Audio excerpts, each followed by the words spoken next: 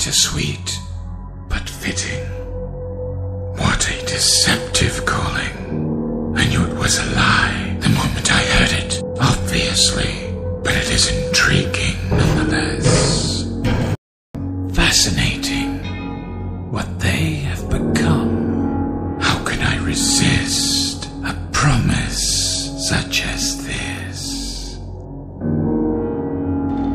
You may not recognize me first, but I assure you, it's still me.